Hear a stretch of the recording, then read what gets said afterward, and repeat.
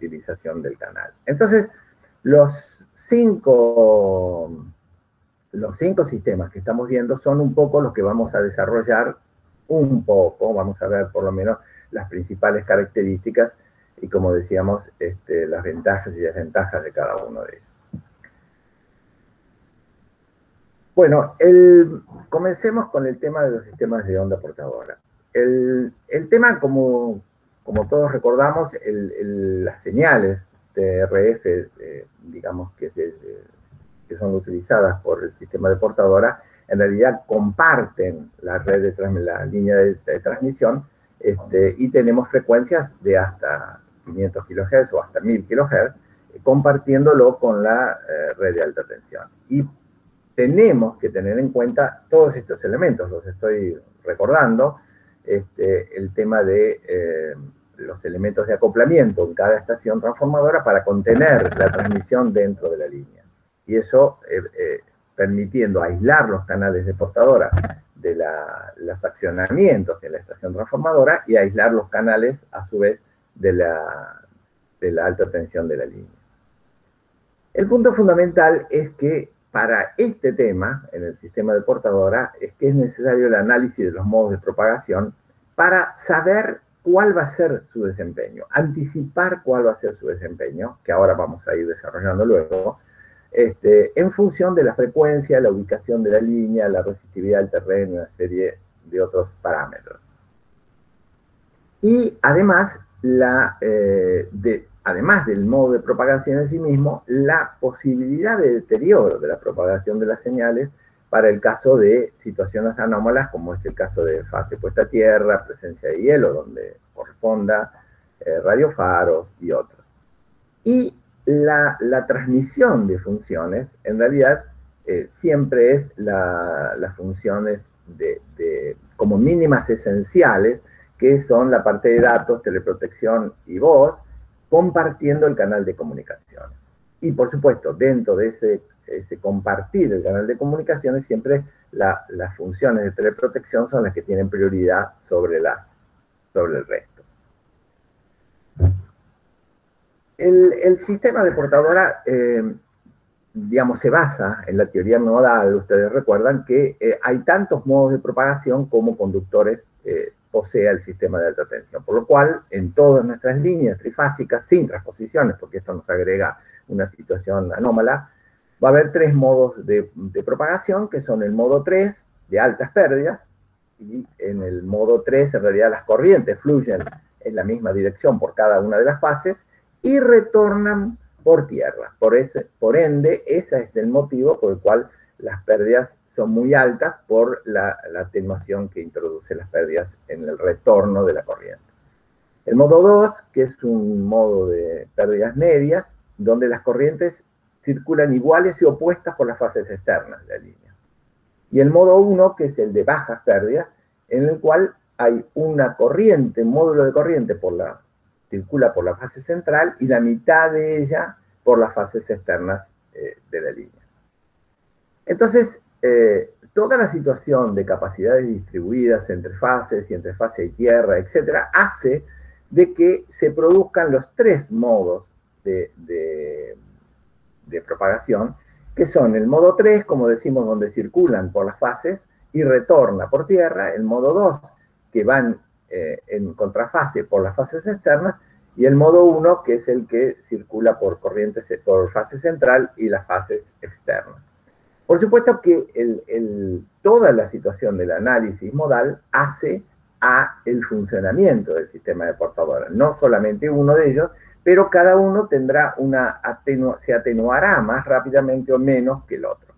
Es decir, que lo que son el, el modo 3 va a tener una atenuación mucho más violenta que el modo 2 y que por supuesto el modo 1, que es el que va a tener un desempeño mucho más eh, extenso y eh, eh, mantenido a lo largo del tiempo. Entonces,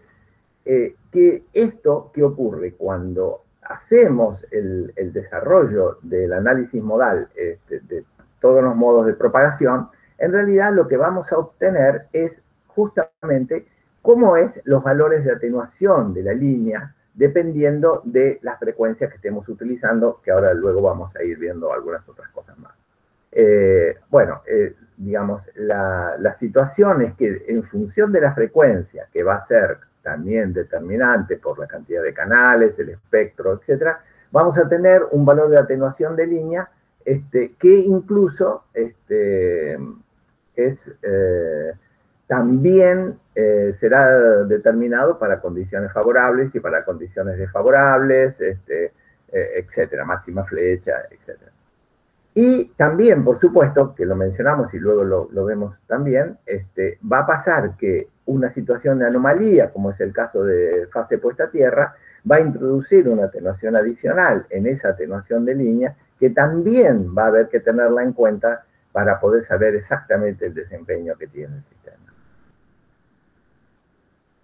La, forma de acoplamiento que nosotros tenemos de, los terminales de XRX en cada uno de los extremos eh, pueden tener distintas modalidades y cada uno de ellos tiene su ventaja, desventaja, que vamos a por lo menos repasar rápidamente. El, el primero es el de acoplamiento hacia tierra, que este típicamente se usa para las líneas de menor importancia, porque por supuesto tiene un menor costo y su instalación es mucho más simple y mucho más rápida. El inconveniente fundamental es que en caso de falla de uno de los elementos de la cadena de RF en la estación transformadora, se pierde totalmente el medio de comunicación porque eh, no tenemos forma de, de poder restablecerlo. Esto tiene, este modo de acoplamiento, tiene una atenuación mayor que de acoplamiento fase a fase, y especialmente hay que tener en cuenta cuando analizamos eh, la falla de fase puesta a tierra, que como el modo de propagación no es exclusivo de la fase que se puso, a tierra, hay que analizarlo cómo va a desempeñarse el sistema para esa condición. Y eh, este tipo de acoplamiento, eh, con los comentarios que fueron al inicio, es, en general se prefieren aquellas líneas donde se puede mantener la línea relativamente estable, aunque no eh, lleguemos a disponer de los disparos de teleprotección. Entonces, el, acoplamiento, eh, como siempre tenemos la situación de, trampas este, y de capacitores que nos permiten el acoplamiento con su dispositivo de protección, eh, dispositivo de sintonía y protección, y la cantidad de terminales de XRX en función de la carga de información que luego vamos a ver será necesario para lo que pretendemos este, transmitir en, esta, en este enlace. Pero este sistema es el más simple y, por supuesto, para líneas de menor eh, importancia. El segundo modo de acoplamiento es el de fase a fase, porque eh, este acoplamiento eh, es mucho más importante, es mucho más seguro, y aquí en general se aplica para, aquellos, para aquellas obras donde el costo no será determinante en la elección. Si la línea, evidentemente, todo el sistema eh, tiene una importancia determinada, este, grande, evidentemente el mayor costo del tener doble acoplamiento no es significativo. Es una instalación más compleja, pero tiene la ventaja que, ¿qué ocurre? Al nosotros, si tenemos una falla, como decíamos antes, los elementos de la cadena, de RF, en realidad eh, lo único que haremos fue, sería aumentar la, eh, atenuación, empeorar la relación con el ruido, pero no perdemos el sistema de comunicación, con lo cual tiene una seguridad mucho mayor que en el otro caso. Y siempre la disposición de montaje que, utilizamos como más conveniente es eh, utilizar los dos, bueno, trampas y capacitores, por supuesto, separados, y los filtros de acoplamiento independientes también en una configuración hacia tierra y también con sus coaxiles y separados hacia el libre de acoplamiento, que en general estará en la sala de comunicaciones, donde ya salimos de, la playa de maniobras, y por ende eh, eh, tenemos ya próximos inmediatamente a los eh, terminales de X y R esta, situación de independencia, de tener todos separados, hace de que evidentemente nos dé mucho más seguridad en cuanto al desempeño del sistema. Entonces, eh, nosotros eh, tenemos un acoplamiento eh, fase a fase, estos son determinados obras o proyectos, pero digamos, este, en el cual tenemos elementos separados, ya sea para la parte de acoplamientos en alta o, o dispositivos de protección y filtros, eh, confluyendo, como siempre, con un recorrido independiente hasta el libro de acoplamiento en el gabinete, que hace que este, me permita tener la independencia de este sistema fase a fase eh, totalmente más allá de lo que pueda ocurrir aún en los recorridos de coaxiles, etc. Y por supuesto que también este, podemos, en el caso de que eh, tengamos una o deseemos, este es el caso de una doble terna, pero en el caso de tener este, una única terna, en realidad podemos utilizar, si es que no tenemos un sistema de alta capacidad, como el caso de fibras o radios, este, podemos utilizar un doble sistema de portadora, este, con lo cual cada uno de ellos se maneja en forma totalmente independiente, porque sus elementos son separados, eh, y la cantidad de terminales deberán abastecer a la capacidad o a la, carga de información que es necesario eh, para, ese, para ese caso. El otro modo de acoplamiento que tenemos es el intercircuito, que en este caso eh, se aplica para el caso de las doble ternas y eh, podemos utilizar dos situaciones. Uno, que es el acoplamiento fase a tierra entre cada línea, de cada, desde cada una de cada una de las dos ternas, pero balanceados entre ellos eh, con lo cual se desempeñan como un acoplamiento fase a fase. Y también podemos hacer un, mucho más seguro, un acoplamiento fase a fase en cada una de las dos líneas y balancearlos también entre ellos como si fuera un doble bifásico.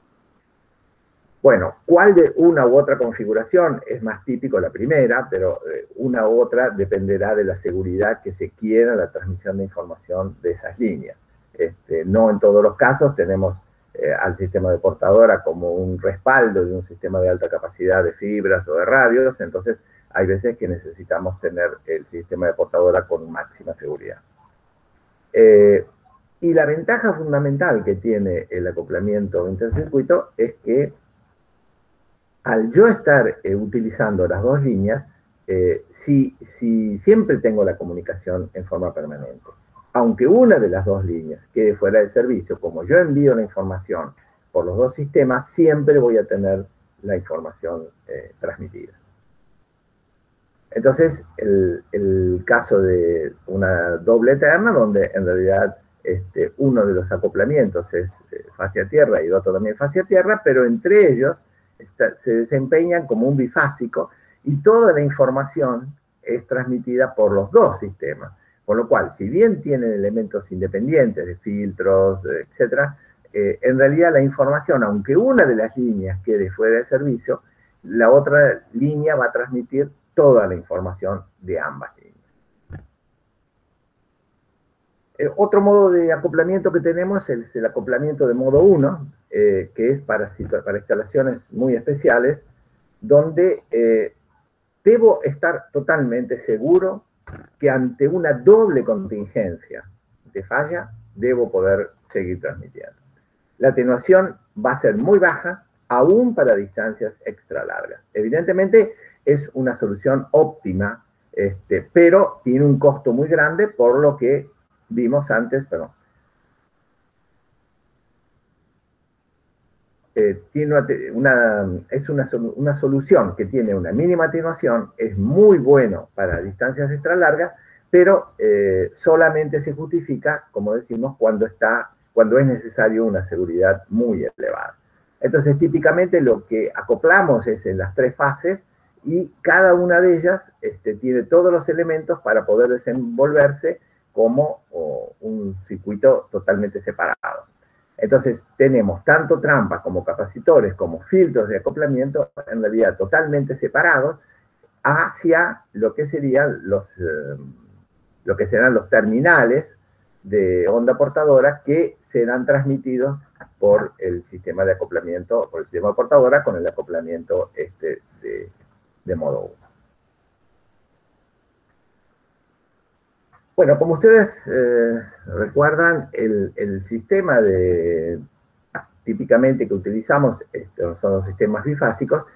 y eh, fase a fase, y eh, en realidad, si bien tienen su independencia de elementos de acoplamiento, después del híbrido de acoplamiento, eh, en realidad vamos a tener una cantidad de terminales que puedan abastecer a la carga de información que resultará de la canalización que se acuerde. Entonces, eh, la situación ya comportadora, ustedes lo recuerdan, es de que en realidad no es como el caso de los de banda ancha, este, en el cual, eh, digamos, tenemos gran capacidad de información ah, posible de transmitir. En realidad, si yo necesito mucha cantidad de información, voy a tener que replicar la cantidad de terminales como para poder abastecer esa información. Y de allí que en realidad lo los sistemas de portadoras son para funciones mínimas, eh, esenciales, críticas, este, y no para una, para una cantidad de, grande de información. Por eso hice la diferenciación al principio sobre cuáles eran críticas y cuáles no. Entonces, ¿qué es lo que va a pasar normalmente? Que en función de, los enlaces, en función de la transmisión de información que yo necesito entre enlaces, entre extremos, voy a conformar eh, cuál es la carga de información que voy a necesitar de cada uno de los canales de onda portadora. Entonces, eh, digamos, podrán ser canales punto a punto o podrán ser canales que en realidad transiten en estaciones intermedias para llevar la información hasta otra, hacia otro extremo. Entonces, la, la cantidad de información que voy a tener que transmitir como vemos, eh, voy a tener que contenerla dentro del canal de portadora y si no, tengo que eh, replicar los terminales, por supuesto. Entonces, esta, esta situación de que tener que compartir el canal de portadora tiene una particularidad, por eso que es la que, la que siempre ponemos mucho énfasis, porque como ustedes saben, el hecho de, de poder compartir dentro del canal las, funcionalidades hace que tenga que particionar el canal, sea en 4 kHz, en 8, etcétera, de tal manera de poder llevar una cantidad de información determinada este, dentro de ese canal porque no tiene, como el caso volviendo al tema de digital por fibras o los radios, una capacidad de transmisión grande. Entonces, eh, en función de la cantidad de terminales que resulte por estas eh, situaciones que estuvimos mencionando antes, de, cómo es la, carga de información que voy a llevar en cada canal, cómo voy a poder particionar el canal y cuánta cantidad de terminales voy a necesitar, surgirá una cantidad de, equipos, cada uno de los cuales tendrá una determinada frecuencia que es la que debe ser insertada dentro del espectro de RF y que eh, esta inserción en el espectro de RF implica una serie de condicionantes y de situaciones de, decisión, porque tiene que ver con la ocupación del canal, si hay canales existentes, tiene que ver con la atenuación de la línea que vimos antes por la frecuencia que vamos a utilizar. Entonces, eh, no es una, se debe dar una combinación de situaciones para poder eh, localizar los, los, canales dentro del espectro que es uno y determinado, no es como el caso del espectro radioeléctrico, etcétera. Aquí tenemos hasta 500 kHz o hasta 1000 kHz, con lo cual este, hay una determinada cantidad. como ustedes recuerdan, en el caso de 500 utilizamos trampas de ondas eh, separadas, independientes, y en el caso de 132 podemos coexistir por el volumen y peso y demás con los capacitores con las trampas eh, correspondientes. Y los filtros de acoplamiento siempre a pie de capacitor, con lo cual a partir de allí eh, llevamos la, vinculación hacia los híbridos de acoplamiento que habíamos mencionado antes, que están en, la, en el gabinete de los equipos.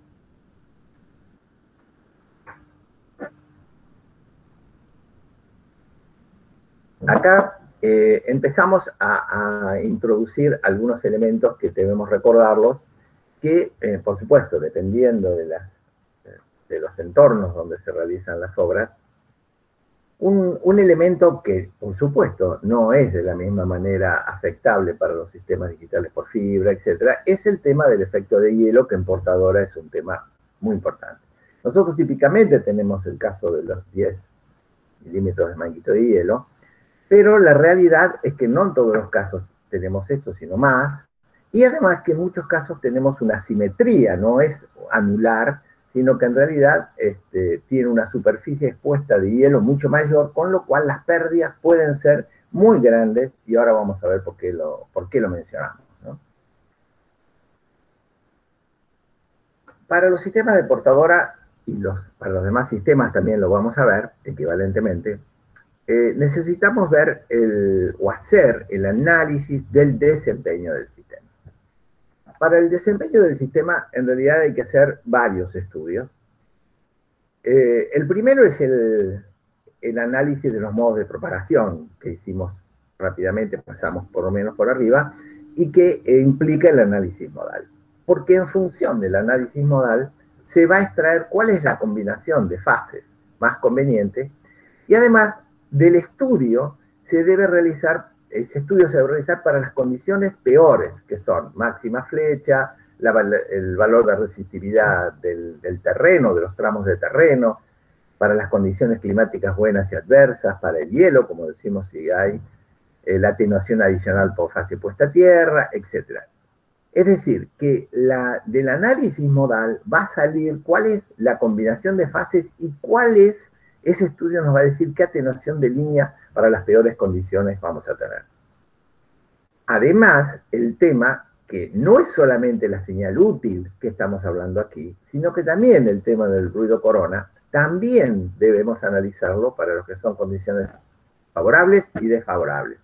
Este, y además de eso, tenemos que adecuarlo al ancho de banda que vamos a transmitir, este, como vamos a ver luego cuando miremos la parte de, DPLC, del portador digital, este, porque no en todos los casos es aplicable a 4 kHz, puede ser 8 o más, con lo cual el ruido corona, además de las situaciones de adversidad, hielo, etcétera, también está afectado por, afectado, eh, eh, va a incidir en el ancho de banda que efectivamente yo utilice en la transmisión.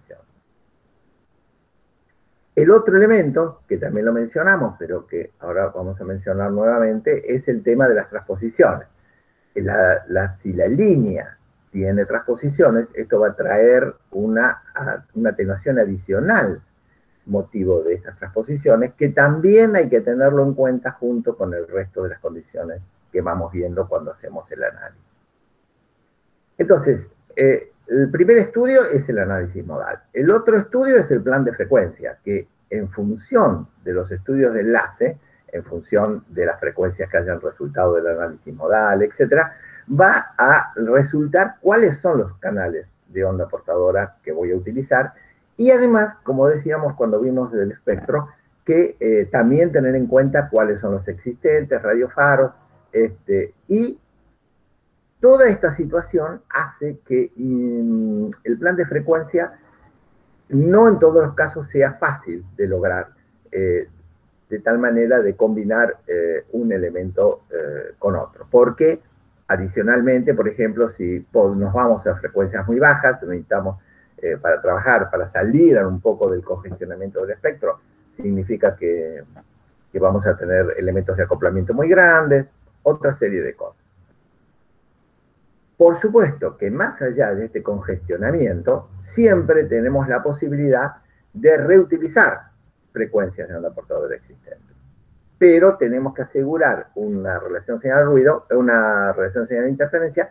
de no menos de 60 dB. Y esto también tiene un costo, si bien es posible realizar, implica poner capacitores de desacoplamiento en el centro de la estación transformadora, una serie de cosas que, además del hecho físico, implica costos y demás. Entonces, análisis modal, plan de frecuencia y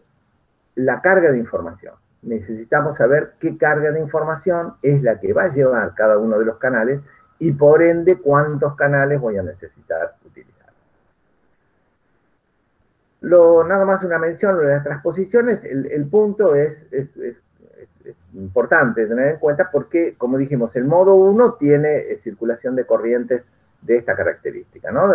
entero y doble por la central. Pero ¿qué ocurre? Si yo hago la transposición, en realidad se trastocan las circulaciones de corriente y ahora esta corriente que estaba en la fase central va a estar en la externa. Entonces, en realidad, cuando hago el análisis modal de esto, vemos que en realidad hay una, una, pérdida agregada de 6 dB por la transposición. Es decir, que la transposición no es gratuita en las líneas, y por supuesto se aplica para el sistema de portador, evidentemente, ¿no? Este, pero, esto implica una situación complicada cuando hago el estudio total del sistema. ¿Qué, ¿Qué pasa? Podría suceder que tenga cantidad de transposiciones a lo largo de la traza. No es una transposición la que estamos hablando. Entonces, esta situación se va recombinando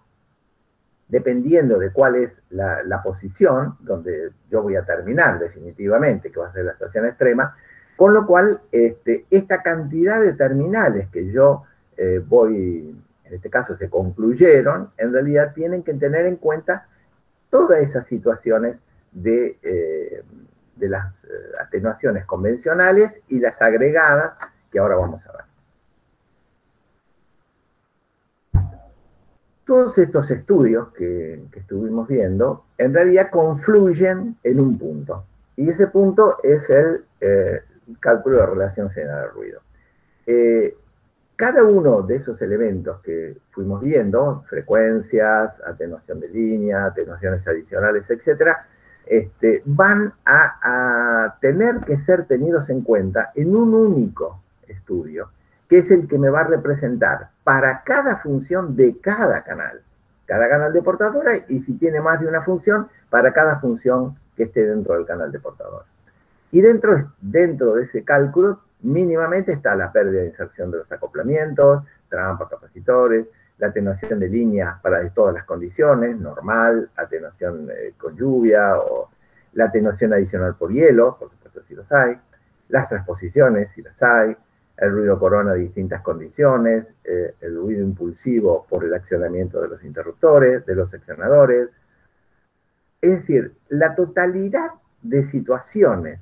que, va a sufrir el sistema de portadora mientras esté operativo es lo que hay que, en alguna manera, reflejar en, una, en un cálculo de relación señal-ruido para que nos dé efectivamente cuál es el desempeño.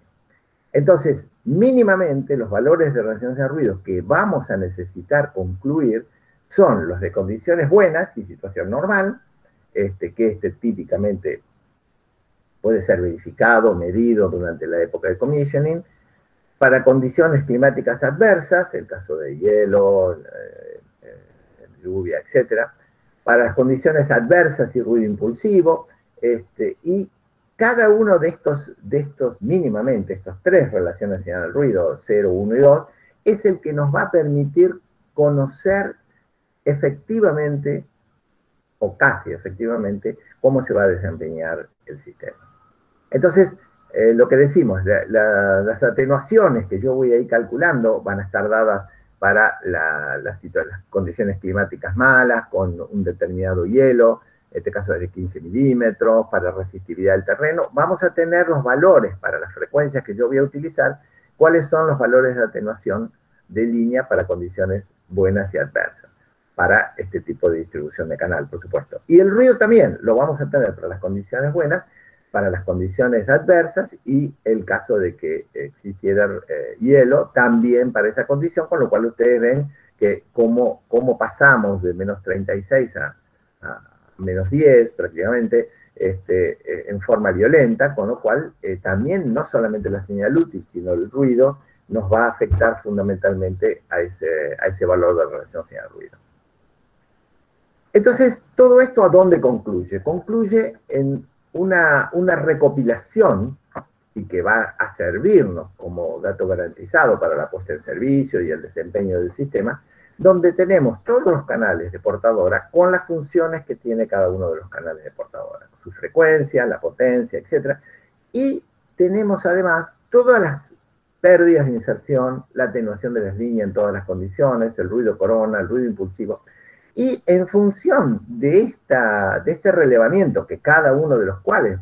tiene que estar eh, calculado y demostrado que es efectivamente lo que se vuelque aquí, es lo que nos va a permitir obtener los valores de relación señal-ruido en condiciones normales, adversas, eh, ruido impulsivo, etc.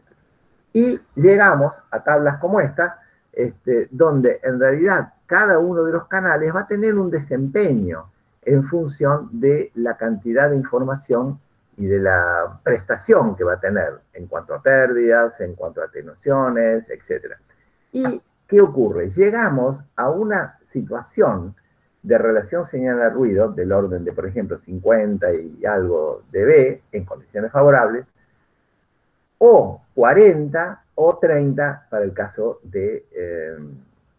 eh, disparos, digamos, para el ruido impulsivo. Entonces, para hacer eh, más simple, lo que voy es, es fundamental el tema del cálculo de relación al ruido porque estas tres tablas, o estas últimas tablas, son las que, columnas de esta tabla, son las que me permiten no caer en el riesgo de que yo puedo suponer que el desempeño de mi canal puede estar en el orden de los 40 dB, pero en realidad veo que en mal tiempo estoy en el orden de 20 y, más abajo todavía de 20 en, situación de falla. Entonces, eh, si yo no tengo este panorama, en realidad puedo caer en esta situación, que es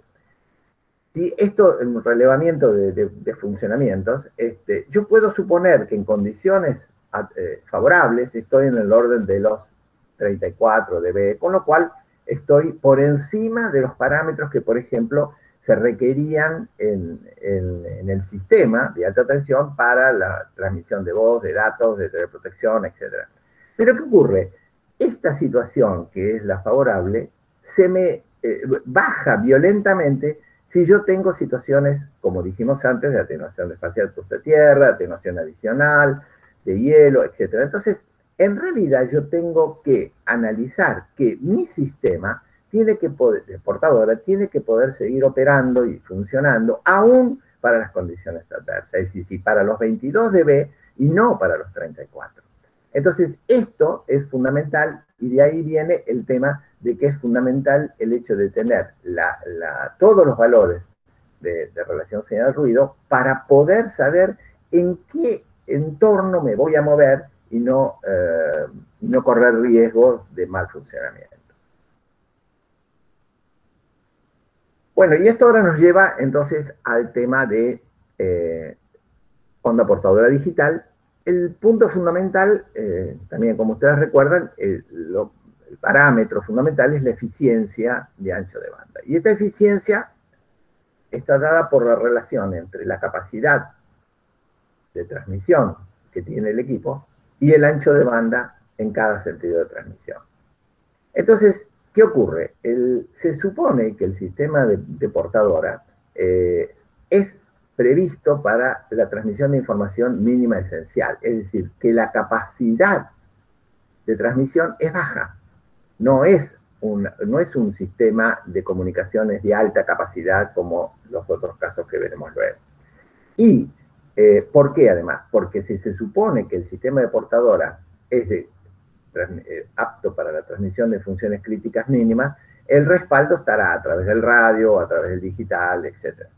¿Y qué ocurre? Eh, para tener una ubicación conveniente en el espectro de radiofrecuencia de los canales, yo tengo que utilizar un ancho de banda para poder transmitir la información que necesito. Entonces,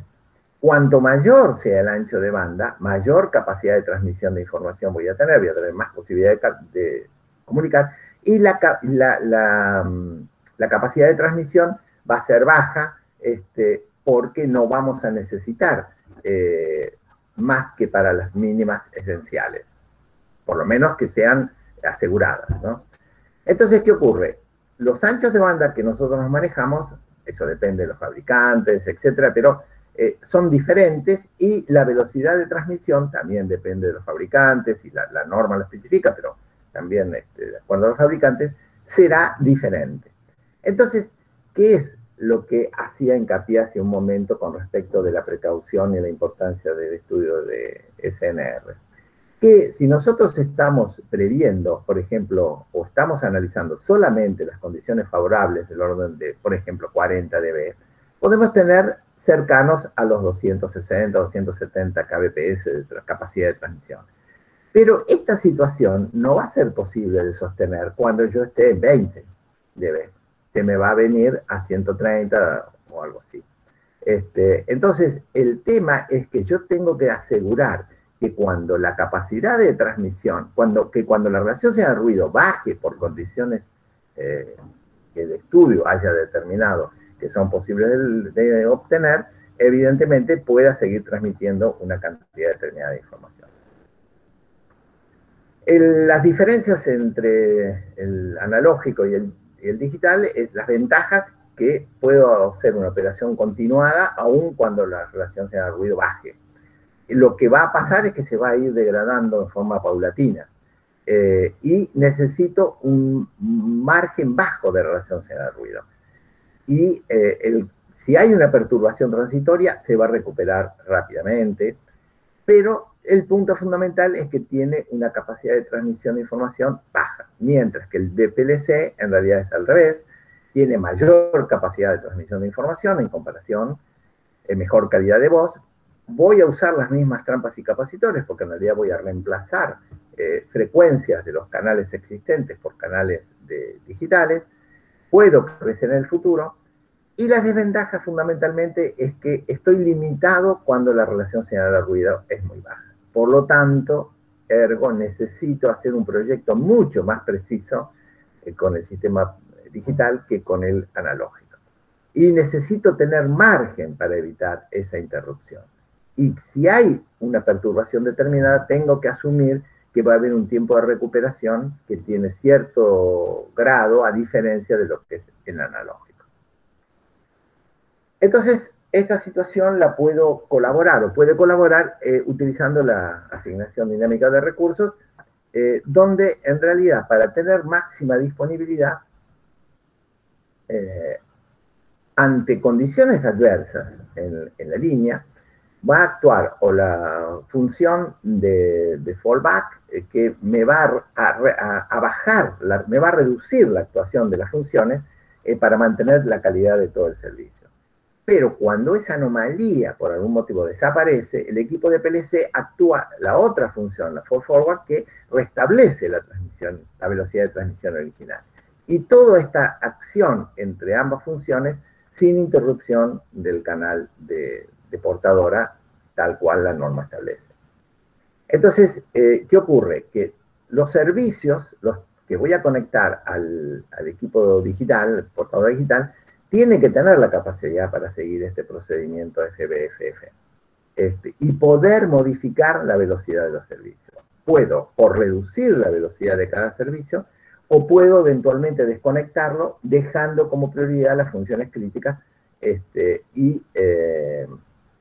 con esto puedo adecuar la transmisión de cada servicio en forma independiente, lo, programo, lo configuro como para que eso suceda. Entonces el sistema de onda portadora, eh, como resumen, eh, tenemos una serie de ventajas, que es menos afectable por lo que son sucesos naturales y o vandalismo, porque en realidad estamos contenidos dentro de la línea, eh, es, resulta económico para longitudes, para enlaces de gran longitud. Este, y el mantenimiento es simple porque toda la parte de acoplamiento y los terminales de, de comunicación están dentro del ámbito de la estación. Por lo tanto, es económico para pocos canales sobre grandes distancias. Ese es el punto fundamental. Si yo necesito situaciones que no son estas, ya necesito pasar a otro tipo de situación, de sistema de comunicación. Pero como nada es gratis, tiene también una serie de inconvenientes, que es eh, el espectro de, frecuencia está limitado, porque el espectro de RF es uno y determinado, 500 o 1000 kHz. Influye el ruido corona, influye el manguito de hielo, la atenuación por una fase puesta a tierra, las transposiciones. Eh, entonces, y tengo una velocidad de transmisión limitada que no me va a ocurrir con los otros sistemas. Entonces, mm, un poco el resumen en este pros and cons, en realidad es que em, en realidad lo debo utilizar, lo debo tener en cuenta por lo menos, este, para utilizarlo o en sistemas de, de comunicaciones donde las líneas no son excesivamente demandantes en cuanto a la cantidad de funciones a transmitir, o utilizarlo como eh, sistemas de caminos de respaldo donde la transmisión de la información mínima esencial es la que va a servir al sistema de portador. Bueno, eh, pasamos ahora al tema de la comunicación digital por fibras, este, que por supuesto también ustedes ya conocen, este, pero vamos a hacer un, paneo sobre, sobre. El primero, y que seguimos utilizando aún, es el sistema SDH, donde en realidad las señales que acometen al área de, multiplexación este, son transmitidas a través del emisor óptico, eh, a través de las fibras tendrá su determinada atenuación, este, y serán decodificadas del otro extremo por el APD y finalmente demultiplexadas para obtener la misma mismas funciones que habían sido introducidas en el área TX. En la transmisión que utilizamos es full duplex, dos fibras independientes, y también, en muchos casos, utilizamos el tema de multiplexación de longitud de onda eh, en caso de que, por determinadas situaciones, eh, si es que queremos darle otras funcionalidades, eh, las fibras son escasas, etc. Y el, multiplexor en realidad es el que permite todo el tráfico de los servicios y permite hacer las cross conexiones entre cada una de las estaciones. Este no se ve muy bien, pero lo pasamos, pero simplemente de mencionar lo que podemos tener un nodo SDH eh, en realidad que único que, haga la intervinculación a distintas eh, situaciones, a distintos extremos, este, derecha, izquierda y hacia arriba, este, con lo cual, en realidad, lo que nosotros tenemos es un costo menor de este, este, sistema, pero al conformarse un nodo eh, único, un nodo SDH único, tenemos el problema de la indisponibilidad que implica que si este nodo se va, evidentemente toda la, situación hacia las tres eh, direcciones eh, también cae. Más allá de eso, aunque utilicemos un nodo simple, en realidad lo que hacemos es eh, las funciones, teleprotección o protecciones, en realidad van a estar, van a estar este, independientes, sí, para cada una de las tres eh, direcciones sobre que está actuando el nodo. Las jerarquías eh, que tenemos son STM1, 4 hasta 64, típicamente usamos entre 1 y 4, este, que tenemos, por ende, eh, orden de 2.400, 9.700 canales de 64 este, kbps, este, y que eh, son suficientes para lo que tiene que ver con la operación de los sistemas de alta tensión y de extra alta. Eh, excepto en el último tiempo cuando están apareciendo toda otra serie de funciones no críticas, como habíamos visto, que sí tienen capacidades muy grandes. Entonces, eh, como, decíamos, como decíamos antes, podemos eh, utilizarlo, eh, digamos, el sistema de portadora, por ejemplo, puede, digamos, ser un camino de respaldo entre estos extremos, mientras que los sistemas digitales o digitales en combinación con radio, abastecer la alta capacidad, las funciones de alta capacidad y las de menor capacidad ser abastecidas por los sistemas de portadora. ¿no?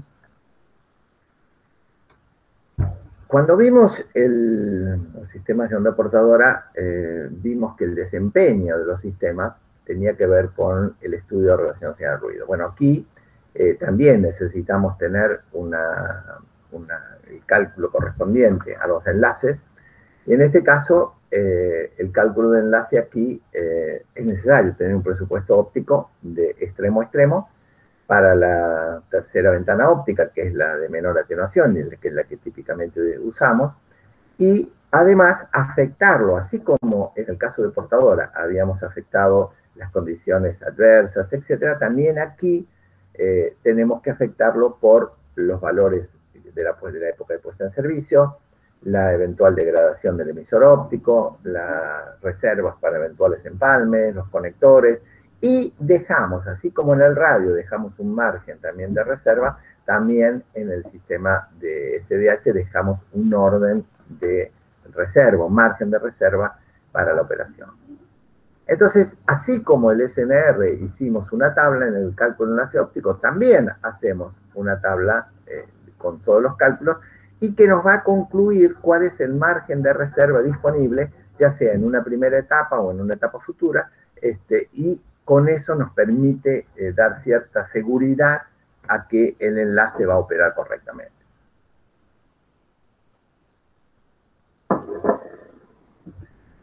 Eh, cuando los usamos independientes, cuando ponemos sistemas duplicados, este, perdón, no, no está demasiado legible por aquí, pero bueno, pero en este caso es telefonía IP, todas las funciones las mandamos por, los dos sistemas, con lo cual este, cualquiera de los sistemas que caiga eh, sigue siendo transportado por la otra función. Y en realidad eso significa que en realidad el multiplexor tiene la cantidad de información en los dos sistemas, de tal manera de que cualquiera de ellos que caiga puede ser abastecido por el segundo este, sin, inconveniente. Eh, ¿Qué pasó? Así como en determinado momento los sistemas PDH eh, tuvieron que migrar hacia SDH por, porque el desempeño no era suficiente, también los SDH tienden a ser descontinuados, este, y entonces lo que hacemos es pasar la tecnología de TDM, de conmutación de circuitos, a la tecnología de conmutación de paquetes, eh, MPLS-TP. Esto implica, eh, digamos, incorporar una serie de tópicos que antes no los teníamos, que era protección de seguridad, la redundancia de sistemas, etc., y reproducir un desempeño que sea previsible, así como tenía el TDM en la conmutación de los paquetes. Esta, la tecnología MPLS eh, es apta para las redes eh, y, pueden, eh, para, pueden, permiten la transmisión de las funciones de emisión crítica y en paralelo pueden hacer una transición gradual y controlada, ahora vamos a ver por qué, este, con lo cual no nos estresa demasiado en esta eh, modificación. El MPLS-TP tiene eh, la ruta de transmisión de los paquetes desde origen hasta destino está predeterminada, este, eh, con lo cual no tiene el eventual grado de un ruteo IP como en otros casos. Y también, por supuesto, acá aparece la necesidad de incorporar la parte de seguridad de información este, para dado que tenemos la transmisión de paquetes, para mantener la inmunidad del sistema. Es una plataforma multiservicio que opera en el MPLS-TP operando en Gigabit Ethernet y la conmutación de circuitos operando en STM1 o 4 según lo que, lo que consideremos o lo que sea necesario por las funciones. Y el criterio de enrutamiento es que las funciones críticas son enviadas por las dos áreas, por los dos dominios, y las funciones no críticas enviadas eh, por uno solo de esos dominios. Eh, también, por supuesto, puede haber funciones no críticas enviadas por el sistema SDH, este, pero dependerá del ancho de banda y de la velocidad que estoy pidiendo este, y por ende el cálculo óptico que corresponde. Vamos a tener fibras independientes para cada una de las áreas, y el tema que hay que tener en cuenta es que el, cálculo del enlace óptico hay que efectuarlo para las dos situaciones, así como hacíamos antes y mencionamos para el tema de SDH, para el MPLS-TP también tenemos que hacer el cálculo determinado de enlace óptico porque el desempeño del emisor óptico va a ser otro, el desempeño de la fibra va a ser otro, etc. Y eh, cada área eh, eh, digamos, el equipo va a provenir, va a tomar la información desde tributarios independientes que vienen cableados separadamente desde cada servicio este, y podemos aplicar los criterios de redundancia como tenemos con los sistemas SDH. Entonces, eh, con los sistemas híbridos, en realidad lo que prevemos es la parte de transmisión vía conmutación de circuitos, como estábamos haciendo hasta ahora, y a su vez tenemos la conmutación de paquete para otro tipo de, información. Eh, eso hace de que eh, tengamos también duplicación de sistemas para, por lo menos en esta etapa, mantener la situación de doble sistema SDH como teníamos en, en, los sistemas existentes. Lo que, para ello, lo que tratamos de hacer es una tabla donde tenemos todas las funciones que son necesarias de transmitir con sus características, interfase, velocidad de transmisión, etc. Y asignamos cada una de las funciones a un dominio, sea del SDH o de transmisión de paquetes, para poder, cuando se hace el, diseño de la ingeniería del sistema, saber cuáles son las informaciones, cuál es la los datos que van a ser transmitidos por cada uno de los dominios. Eh, en los sistemas entonces comunicación digital, así como hicimos con el de fibra, eh, vemos que tiene una serie de ventajas grandes, evidentemente eh, mayor capacidad de transmisión de, de datos, voz, etc. Cada canal es más grande, tiene mayor capacidad de ancho de banda, es inmune a los disturbios, ruido corona, interferencia. También es, procede inmunidad frente a la propagación atmosférica, como el caso de los radioeléctricos. Eh, podemos eh, realizar la transmisión de protección diferencial, que no podíamos con los sistemas de portadora. podemos expandirnos en el futuro utilizando igual cable óptico y podemos utilizar fibras oscuras o fibras iluminadas este, para poder eh, transmitir otras funciones que no sean exclusivamente las que eh, aplicables al sistema de alta tensión. Eh, otra de las situaciones es que no necesita utilizar el espectro de RF y por lo tanto no necesita injerencia de la ENACOM como tampoco pasaba con los sistemas de, de portadora. Tiene también el tema de inviolabilidad de la información. Eh, las acciones de vandalismo son mínimas este, sobre el cable óptico, que como ustedes recuerdan, en caso es óptima la situación si usamos el OPGW como hilo de guardia y las armaduras de armida en el caso de los ADSS. Las figuras de indisponibilidad aquí están sujetas a fallas en el hardware, no tenemos fallas agregadas por la propagación. Eh, y eh, tenemos figuras de PMC y PUC para la teleprotección óptimas, porque por supuesto no estamos afectando por la resonancia de ruido, etcétera, a, las señales. Y el costo que tiene eh, el sistema digital por fibra es menor que el de onda portadora si las distancias son cortas. Este, no así para distancias largas. Ahora, ¿cuáles son los inconvenientes? Eh, si yo tengo una determinada longitud de enlace, voy a poder manejarme con los terminales de XRX como estábamos, como vimos. Pero, ¿qué ocurre? Para distancias largas ya voy a necesitar introducir el tema de la cadena de amplificación.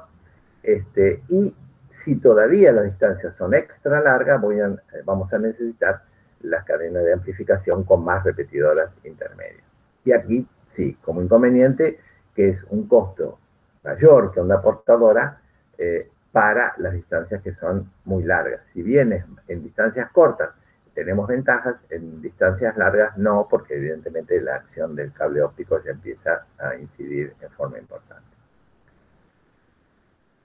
Cuando hablamos del tema de la, cadena de amplificación, es, eh, proviene de que nosotros eh, tenemos para cada uno de los enlaces de larga distancia, tenemos una potencia de emisión, la sensibilidad del receptor y las características de la fibra, eh, lo cual nos permite hasta una determinada longitud de enlace. Si no, tenemos que eh, comenzar la aplicación de booster y preamplificadores para aumentar el nivel de salida de esos transmisores y este, estamos en el orden de los 300 kilómetros según el fabricante, etcétera, la velocidad que va a ser transmitida. Y todavía, si en realidad eh, eh, excedemos, como dijimos antes, extra largas distancias donde excedemos el tema de los 300 kilómetros, en realidad necesitamos introducir repetidoras este, con o sin inyección de tráfico local este, y que eh, puede necesitar también amplificadores adicionales. Pero además de este tema, es que aparece toda una serie de elementos, así como pasa con los radioenlaces, que es la parte de alimentación de energía, la, ya sea vía red o vía el hilocaptor, etc. Está la situación del acceso físico a esas repetidoras, la protección antivandalismo, etc. Es decir, que la situación de pasar a repetidoras tiene también, eh, son necesarias, pero tiene también toda una serie de consideraciones que hay que tener en cuenta, además de los cálculos que vimos anteriormente.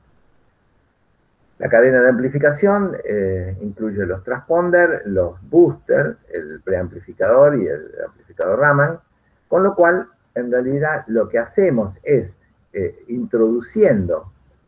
eh, digamos, los amplificadores, transponiendo la, longitud de onda y, haciendo la amplificación en el extremo emisión, en el extremo recepción, en realidad lo que hacemos es extendemos la el enlace a una atenuación mayor que la que podría haber sido en el caso de que eh, no los tuviéramos. Entonces, manteniéndonos dentro del entorno de la estación transformadora, porque acá no necesitamos salir de ella, no estamos hablando de repetidoras, podemos incrementar virtualmente el enlace este, óptico eh, de una manera importante como para eh, permitirnos otras distancias. Ahora bien, cuando ya las distancias son extra largas, necesitamos hacer eh, una detección, conversión y conformar una nueva señal y amplificarla en todo el, con todo su contenido, eh, así como si fuera un enlace convencional. Eh, en general no incluimos multiplexores en las repetidoras, pero en el caso que queramos tener, adquirir información de ese sitio, o que sea un punto futuro de derivación, o estemos previendo un futuro punto de derivación, necesitamos eh, tenerlo. Entonces, en el caso que exista la repetidora, en realidad eh, lo que tenemos es, eh, para este enlace total entre la estación B y C, en realidad tenemos una situación de una repetidora donde en uno de sus tramos, porque no está en el centro, necesitamos tener además elementos de la cadena de amplificación. Y en el segundo tramo no necesitamos este, tener elementos. Eh, más allá de eso, siempre la transmisión, y en eso continuamos siempre el criterio, de que, por ejemplo, la transmisión de información entre esta estación B hacia la estación A va a tener una independencia de la transmisión de información de la estación B hacia la C o de la estación C hacia la D. Es decir, eh, más allá que coexista esa información transmitida dentro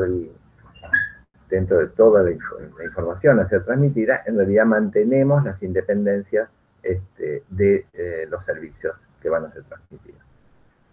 Y bueno, eh, también si el caso es, eh, como decimos,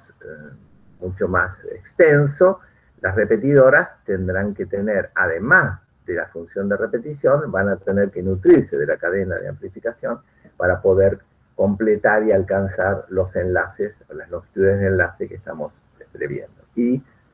también para mantener la independencia, si tenemos dobles sistemas, como siempre, esto ya es típico, que mantenemos, eh, ya desde cuarta línea creo, este, seguimos teniendo estaciones repetidoras separadas este, físicamente, de tal manera que una eventualidad sobre una de ellas no afecte la totalidad de los dos, de los dos sistemas y por ende se mantenga esa independencia de los dos sistemas. Bueno, las fibras, como ustedes eh, saben, este, este, típicamente son las alojadas en, en OPGW, este, para la línea de extra alta tensión, y luego tenemos en cada uno de los gabinetes en forma separada todo lo que es la parte de, distribuidores de fibra óptica eh, que acceden viniendo de esas fibras hacia el equipamiento y después la cantidad de amplificadores, booster, etcétera, separadamente por cada uno de los, de los sistemas. Eh, el otro sistema de, comunicaciones que habíamos mencionado tiene que ver con los sistemas de radioenlace digital. Eh, como dijimos antes, los sistemas de portadora usan el medio físico, que es la línea, en los sistemas, el,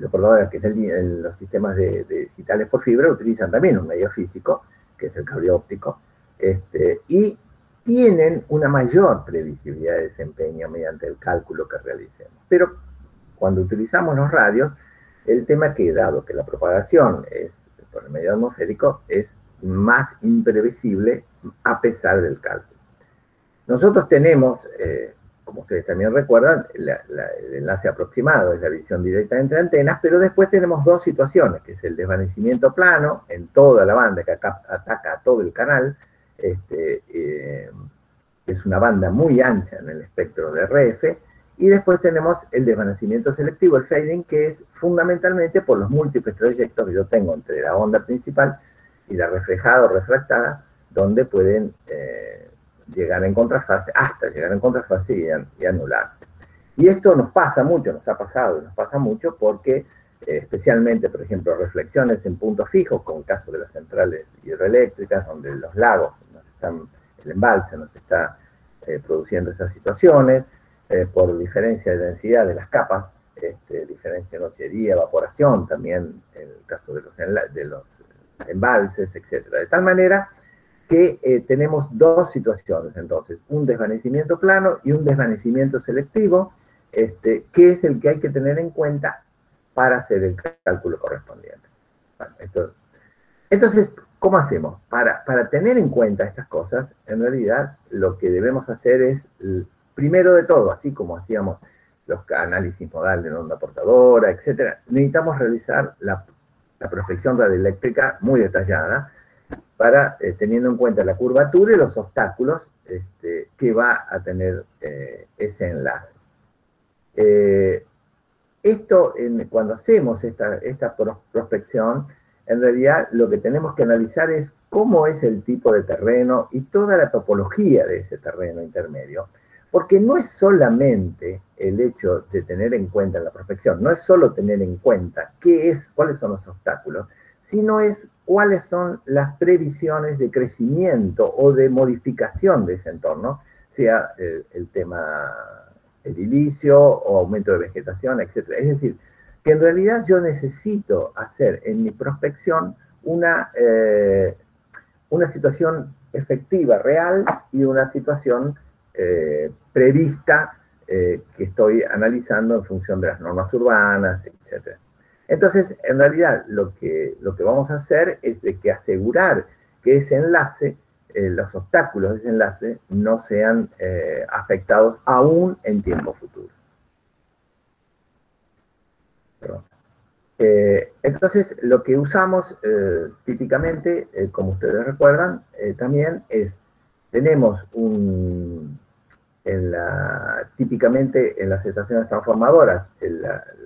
estación de, de, radio en realidad está alejada del centro de control o de la la sala de comando de, la estación transformadora, con lo cual eh, utilizamos un multiplexor eh, anexo a los terminales del, radio y eh, lo vinculamos por fibras a un multiplexor que está, sí, en la sala de comando de la estación, que es el que realmente acomete y accede a la información de los servicios que deben transmitirse. Es decir, que los servicios que van a transmitirse van a estar acometiendo al multiplexor que está en la estación transformada, en la sala de comando, este, y luego serán eh, enviados a través del radio para ser eh, obtenidos en la estación extrema. Cuando realizamos eh, el radioenlace completo, en realidad tenemos desde situaciones, desde el acceso a la ingesta de datos en, uno de los extremos, pasando por otras estaciones donde podemos bajar y subir información a la misma y podemos transitar otra información, y así hasta llegar al extremo opuesto donde obtenemos la información, que puede haber sido venida de la generada en la primera estación y o puede haber sido este, generada en las estaciones intermedias. Cuando nosotros tenemos un solo sistema de alta capacidad, de, por ejemplo, de, fibra, digital por fibra, en realidad solemos utilizar el radio, el radioenlace, como medio de eh, respaldo para esta información. Es decir, si nosotros tenemos nodos SDH este, con el radio, podemos hacer siempre independizando el acceso de los servicios, es decir, que en realidad, más allá que este nodo SDH eh, pueda caer, en realidad debemos tener que poder transmitir una serie de información entre cada uno de los extremos de enlaces, este, de tal manera de asegurarnos que se, eh, restablezca o, se mantenga la transmisión de la información. Bueno, el, de, típicamente, como ustedes también recuerdan, está en el orden de 40, 45 kilómetros, se reduce, depende de la frecuencia que utilicemos, y eh, hemos utilizado mástiles de 120 metros, 130, con lo cual podemos tener eh, longitudes mucho mayor, y siempre y cuando sean orografías planas. Y si, a su vez, más allá de esto, tenemos longitudes mayores, tenemos que utilizar las repetidoras para amplificar reconstruir la señal eh, y enviarla hacia la estación siguiente. Al utilizar las repetidoras en forma análoga a lo que pasa con los sistemas de fibra, en realidad aparece toda otra serie de situaciones que hay que tener en cuenta, que son los predios, los accesos a esos predios, la energía de esos predios, cómo es la accesibilidad, depende del clima, el vandalismo, es decir, que no es solamente la previsión del cálculo de enlace, sino es la necesidad de prever toda otra serie de situaciones que hacen al desempeño del enlace. Eh, bueno, como, así como vimos en el caso del enlace óptico, también aquí lo que hacemos es el cálculo de disponibilidad eh, mínima anual que vamos a obtener y asignar el margen de reserva en ese cálculo de enlace para poder asegurar que eh, tengamos desempeño correcto. Y el tener una mayor disponibilidad, como estamos diciendo aquí, esto nos implica mayor potencia de equipo o, ganancia en las antenas, mástiles más grandes y además la eventual eh, utilización de diversidad de frecuencia de espacio este, para eh, poder lograr esos valores altos de disponibilidad. Bueno, ustedes ya también conocen el tema de diversidad de espacio, este, con distintas antenas o de fase y o frecuencia, diversidad, con lo cual vamos conmutando según la situación de anomalía que aparece en, el enlace. Así como en los sistemas de portadora, por ejemplo, hablamos de la relación señal-ruido, este, aquí también aparece otra particularidad con el radioenlace digital, que es que tanto en el sistema de portadora como también en los sistemas digitales por fibra, en realidad la indisponibilidad estaba referida fundamentalmente a la falla de los equipos. Eh, si es que despreciamos, por ejemplo, la, falla o la indisponibilidad por cable óptico, ese tipo de cosas, ¿no? ¿Qué ocurre? En el radio, en realidad, tenemos dos indisponibilidades, que es por la falla de equipos y por la propagación. Entonces, aquí la disponibilidad, la indisponibilidad total que, surge en el radio y que hay que tener en cuenta muy detalladamente es la situación de, doble contingencia, que es que hay que hacer el doble cálculo por una situación y por otra para tener la efectiva indisponibilidad que vamos a tener en el radio. Bueno, esto algunos de los que están presentes lo recuerdan, pero bueno, esto es un ejemplo tomado, digamos, de, de distinto eh, de una estación extrema hasta pasando por sus repetidoras hasta, el otro extremo. Y en realidad tenemos un valor calculado de disponibilidad de equipos, que estamos en 5.9, disponibilidad de propagación en 5.9, este, pero la combinatoria de las dos indisponibilidades hace que nos dé una disponibilidad, una indisponibilidad, eh, una disponibilidad, perdón, total de 4.9. Eh, es decir, que Aquí, en, el caso de los radios, lo que hay que tener en cuenta y no olvidar es el hecho de que no es solamente la falla de equipo, sino también tiene que ver la, propagación.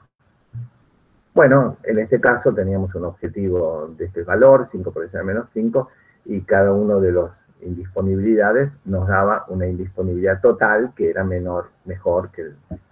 el, que el objetivo buscado. Bueno, eh, ustedes saben, de, torres autosoportadas, eh, con las distintas necesidades de repetidoras y de shelter, eh, con la cometida de las guías, con halo puesta a tierra, toda una serie de situaciones que es necesario agregar en el caso del, radio este, para realmente asegurar el desempeño de todo ese radio ¿Cuáles eh, las ventajas? No es afectado por ruido corona, eh, transporta gran cantidad de canales de voz y datos y, muy importante, las líneas no las tengo que sacar de servicio cuando debo hacer mantenimiento eh, y tengo un espectro de frecuencias amplio, que por supuesto está determinado por el ANMAT, la velocidad de transmisión es grande y puedo conformar configuraciones de gran confiabilidad de 1 más 1, n más 1, eh, diversidad, etc. Pero debemos, por eso, puntualizar y recordar que está afectado por las condiciones climáticas, niebla, lluvia, eh, eso es un tema que a nosotros nos afecta, especialmente en determinados tramos nos ha afectado mucho. Eh, el costo inicial es alto, pero todos los canales que yo, agrega, que yo agregue serán a un costo menor necesito terrenos adicionales para las repetidoras, lo mismo que requisitos adicionales de energía, y necesito, no como el caso de fibra y no como el caso de portadora, necesito pasar por la aprobación de la compra. Eh, es afectado por las acciones de vandalismo, necesito hacer la prospección y el relevamiento de los obstáculos, tengo que usar repetidoras prácticamente siempre,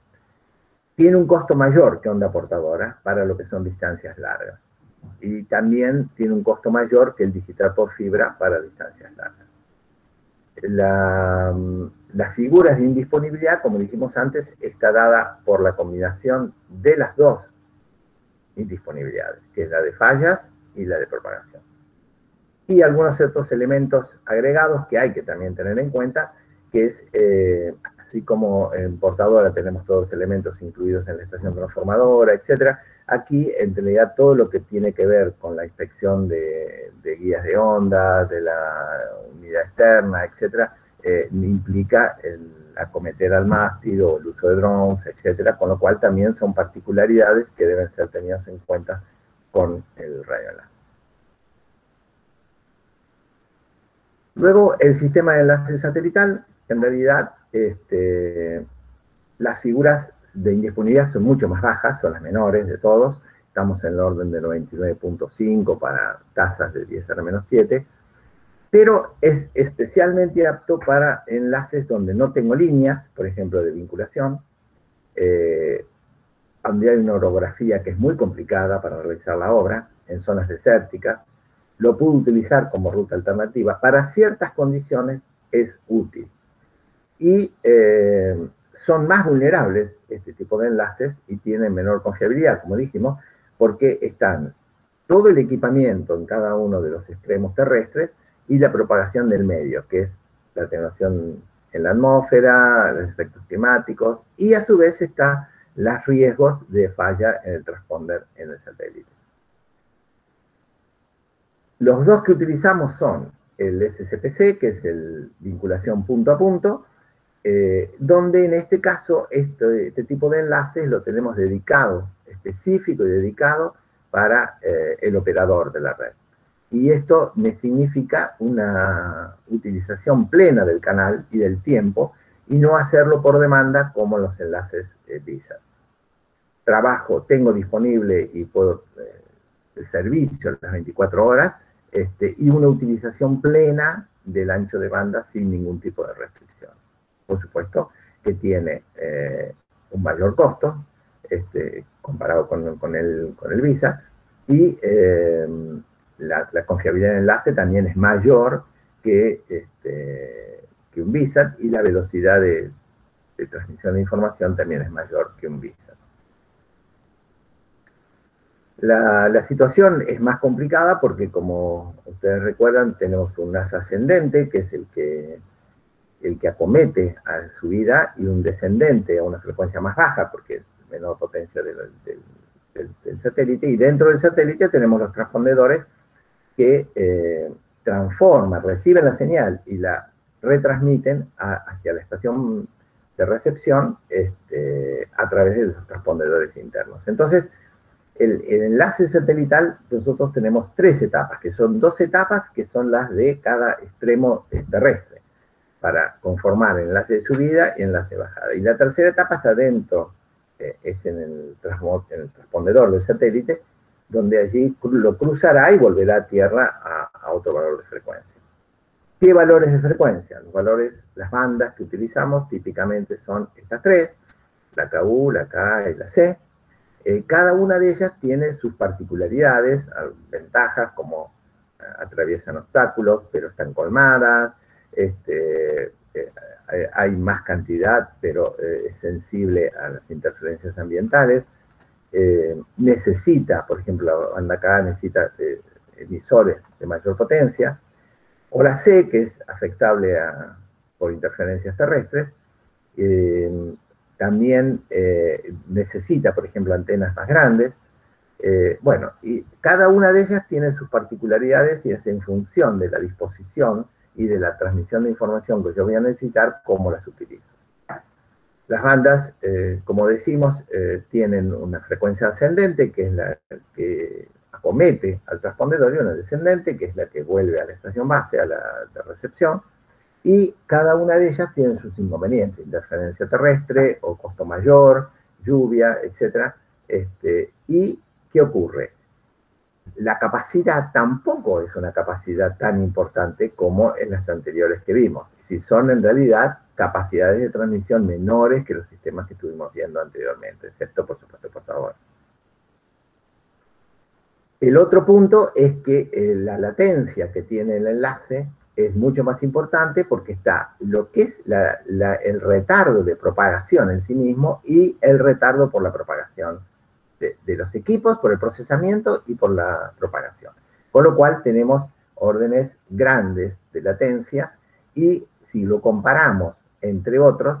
por ejemplo, con los sistemas ópticos de 4 a 20 milisegundos orden, eh, caso de carga de datos 30 50 milisegundos y la satelital de 500 milisegundos, con lo cual nos está restringiendo la operación en tiempo real de muchas de las situaciones. Bueno, el, alguno de los satélites, por ejemplo, con potencias de 20 kilowatts, tiene 52 transpondedores de banda C y 72 de la KU, eh, aplica sobre América Latina y en general se hacen alquileres del orden de un cierto tiempo, y nos da cada uno de ellos cuál es la huella que tiene en el área que cubren eh, para el caso de Argentina, por ejemplo. El otro enlace eh, satelital es el de a través de un telepuerto, eh, que este hub es el que controla todo el uso de la red. Aquí ya la transmisión es por demanda, depende de las solicitudes de acceso que reciba el hub, es como va a ir asignando la transmisión.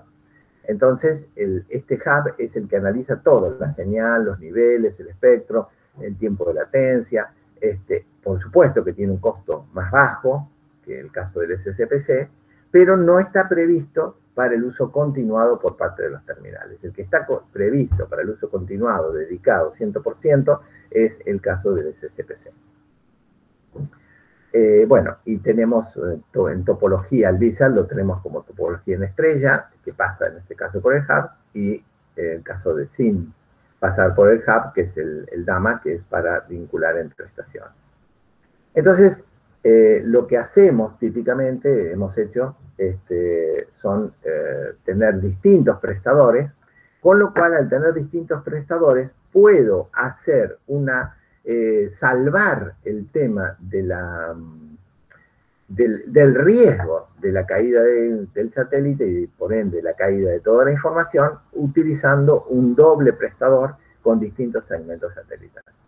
Este, esas situaciones eso nos permite tener una mayor seguridad respecto de la transmisión. Entonces, en emplazamientos donde no tenemos líneas de vinculación con la estación con la cual deseamos conectarnos, evidentemente podemos utilizar no todo bajo un solo satélite, sino, o bueno, podría ser bajo un solo satélite, pero para mayor seguridad, con distintos segmentos satelitales, a eh, los mismos emplazamientos y vamos a tener también diferente recepción en el mismo emplazamiento donde recibe la totalidad de la información. esto de los enlaces satelitales también, como dijimos al inicio, eh, en lugares eh, de orografía complicada y lugares eh, de, mucha extensión, si tenemos anillos ópticas donde tenemos toda una serie de estaciones que están vinculadas por un anillo, las estaciones de control de ese anillo, por ejemplo, o de recopilación de información, etcétera, pueden tener vinculaciones este, entre ellas de tal manera de hacer un camino alternativo, por ejemplo, este, o más de un camino alternativo, a lo que es el desempeño del anillo óptico. Entonces, para estos casos es típico el hecho de que pueda utilizarse como medio alternativo. Y mucho más simple, por supuesto, eh, también nos ha sucedido el tema de utilizarlo como mecanismo alternativo, donde no teníamos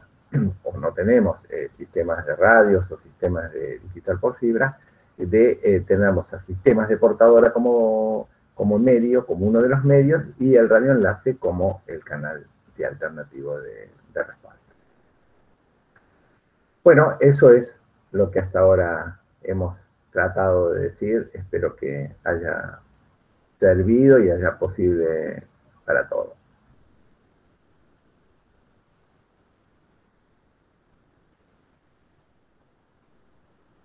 Bueno, si los asistentes quieren hacer algunas consultas, algunas preguntas, este, abrimos esta ronda de, consultas para que Carlos eh, pueda responderlas.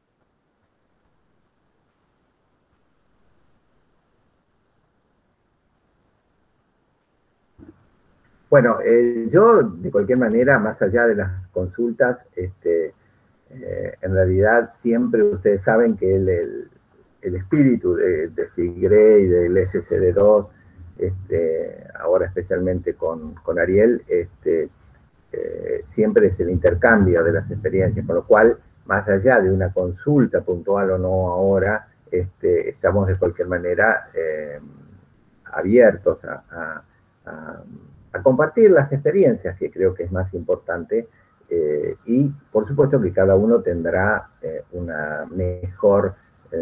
solución o habrá visto distintas situaciones en distintas partes del mundo, con lo cual eh, es bueno también compartirla entre todos, sea a través de una pregunta, como digo, o a través de,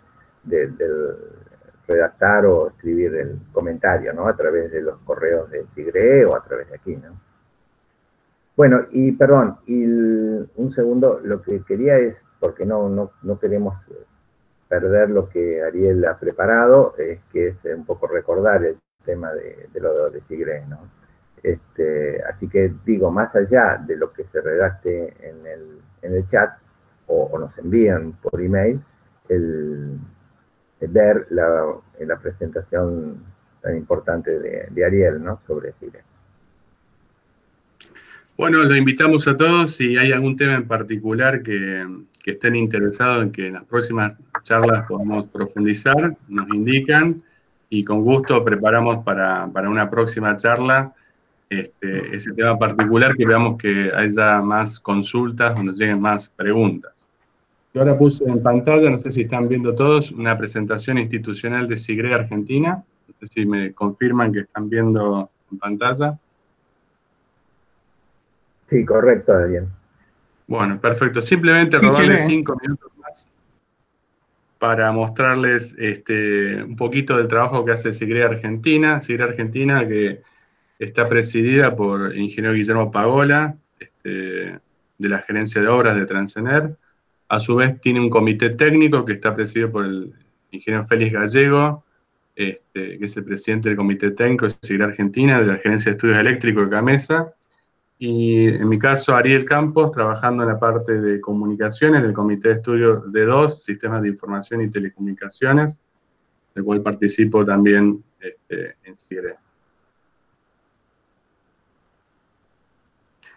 SIGRE es una organización global en la cual puede reunir a todos los expertos de todo el mundo para las distintas actividades, una comunidad técnica en donde eh, como comentó Carlos, eh, apunta a un desarrollo colaborativo y a intercambio de experiencia y conocimiento. Es una, eh, es una organización que se fundó, se estableció en París, en Francia, en el año 1921. Casualmente el año que viene cumple 100 años. es una organización sin fin de lucro y cuyo propósito justamente es compartir conocimiento técnico dentro del mundo de la energía, del mundo de los sistemas de energía y eh, de distintas tecnologías que abarcan estos sistemas. Está conformada por eh, distintos comités nacionales que están a lo largo de, 90 países y eh, tiene adherido muchas empresas de servicios públicos de energía a lo largo de todo el mundo y conecta, hace un gran networking entre los principales expertos de dichas empresas de todo el mundo. También incluye a fabricantes de equipos eh, en, esta, en esta organización que se comparte toda esta información técnica. Tiene presencia en todos los continentes prácticamente, eh, en todos los países, con sus comités nacionales. Por suerte Argentina tiene un comité nacional. Y fundamentalmente tiene cuatro grupos de estudios, el grupo A, equipamiento, el grupo B, tecnologías, el grupo C, sistemas y el grupo D, nuevos materiales y tecnologías de la información.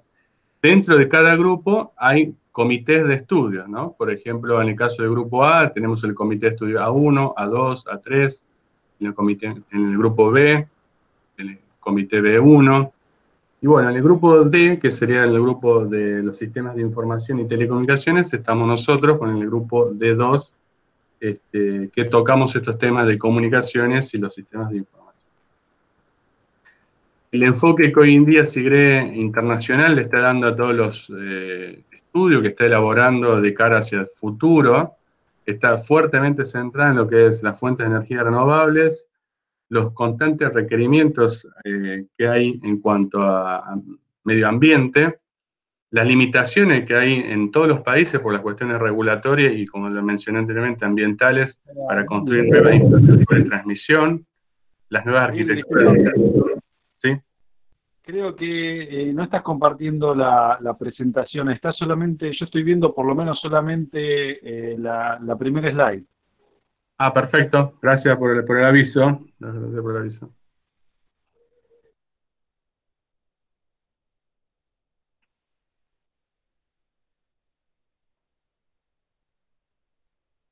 Vuelvo a compartir.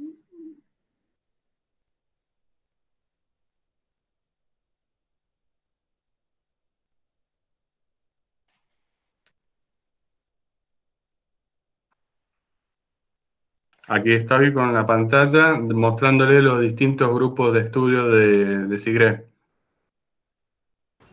Sí, se ven. Ahí está, perfecto. Bueno, entonces, como le decía, de los cuatro grupos de estudio de equipamiento, tecnologías y sistemas y nuevos materiales de tecnología e información, nosotros conformamos lo que se llama el grupo D2, sistemas de información y telecomunicaciones. Eh, el enfoque actual que está dando SIGRE es hacia energías renovables, los requerimientos ambientales, las nuevas arquitecturas, eh, las limitaciones para la construcción de nuevas infraestructuras, eh, mantener los sistemas de energía existentes. En muchos países tenemos que seguir manteniendo los sistemas que están hoy construidos, la transmisión de grandes cantidades de potencia a largas distancias, y un tema muy importante que toca a nuestro grupo de estudio, que es la seguridad cibernética. Además, SIGRE eh, es referencia técnica en cuanto a bibliografía, material de estudio, debido a que es un gran generador de contenidos. Esa palabra está tan de moda hoy en día. Bueno, SIGRE lo viene haciendo desde hace décadas en el tema técnico. SIGRE genera contenido técnico a través de eh, el desarrollo de documentos técnicos de referencia y publicaciones, folletos técnicos. Muchos de estos folletos técnicos luego son convertidos a estándares eh, globales, tanto en IEEE como en, en IEC, y además publicaciones de libros técnicos que posibilita también, también disponer de información de valor eh, para todos nosotros. SIGRE también dispone de una biblioteca electrónica, hoy en día eh, todo está en la red, donde a los socios de SIGRE le permite ver el contenido tanto de las publicaciones técnicas, eh, papers, eh, material de publicación en revistas de difusión técnica y todo tipo de webinars que se van realizando a través de SIGRE, todo ese contenido técnico de los cuatro comités de estudios, que me dijimos equipamiento, este, sistemas y sistemas de información y comunicaciones, todo está disponible de forma electrónica para los socios eh, de SIGRE. Este, por supuesto que formar parte de, SIGRE eh, posibilita acceder a todo este contenido técnico cual le da un gran valor el hecho de poder disponer de esa membresía en SIGRE, tanto valor eh, para la empresa donde uno se desenvuelve, tanto si, como es como si fuera consultor independiente, como para también la formación técnica de cada uno de nosotros. En Argentina, como les mencioné, tenemos nuestro Centro de Investigación de Grada de Redes Eléctricas, que es el Comité Nacional de SIGRE Argentina, cuyo presidente es el ingeniero Guillermo Pagola, y tenemos la posibilidad de eh, generar también actividades técnicas, como el que estamos haciendo ahora a través de esta reunión con Carlos Di Palma, que es un ingeniero consultor y trabaja en Tranelsa también, este, para promover las actividades técnicas y de intercambio de conocimiento. El Comité Nacional Argentina fue, también es una asociación civil sin fin de lucro que fue creada en el año 2005 y tenemos nuestros datos así en nuestra página web, este, disponible para contactarse con, la Secretaría de SIGRE para poder hacer consultas y saber cómo, cómo si uno está interesado en obtener la membresía, tanto individual como empresarial,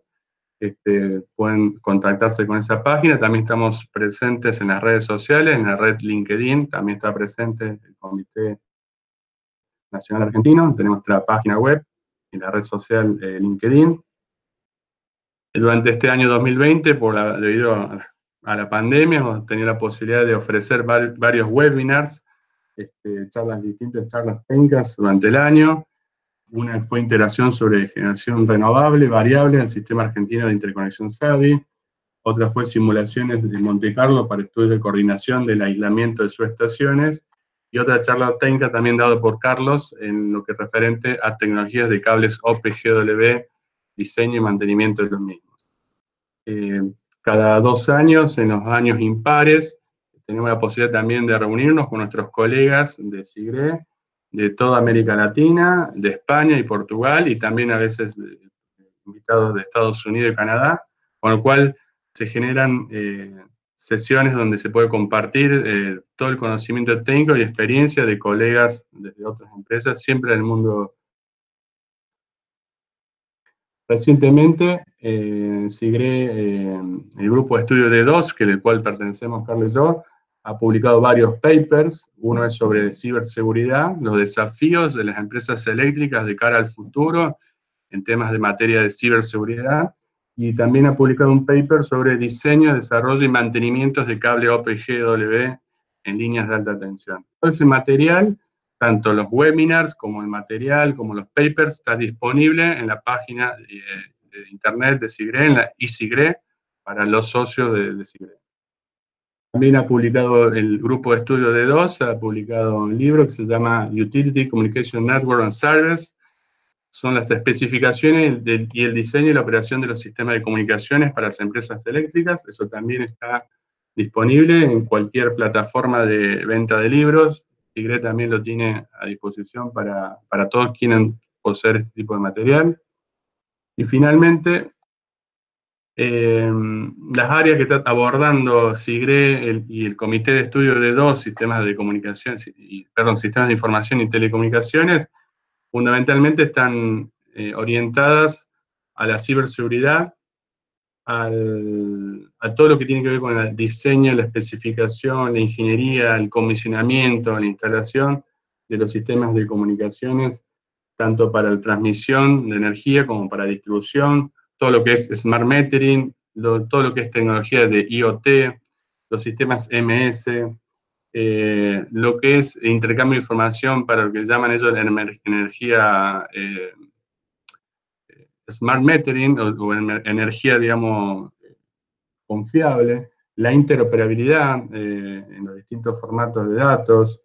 y, como mencionamos eh, al principio, lo que es la ciberseguridad, la gobernanza, el diseño, la, implementación, las pruebas, la operación y el mantenimiento de lo mismo. Queríamos mostrarles esto y, bueno, agradecerles por la participación en este webinar e invitarlos a, formar parte de, de Sigre Argentina este, con el aporte del conocimiento de todos ustedes que forman parte del mercado.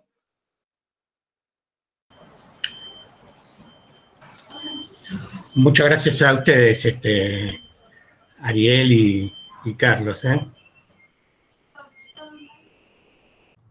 Bueno, muchas,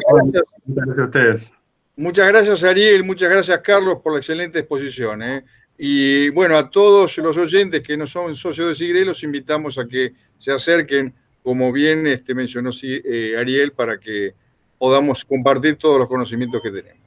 Bueno, un abrazo a todos, muchas gracias.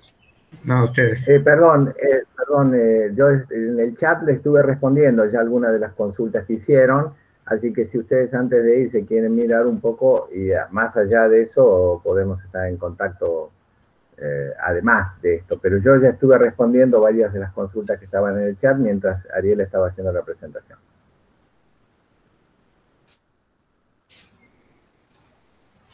Bueno, muchas gracias a todos por la participación y un cordial saludo. Le invitamos a formar parte de SIGRE. Un cordial saludo a todos. Gracias, igualmente. Muchas gracias a todos por participar. ¿eh?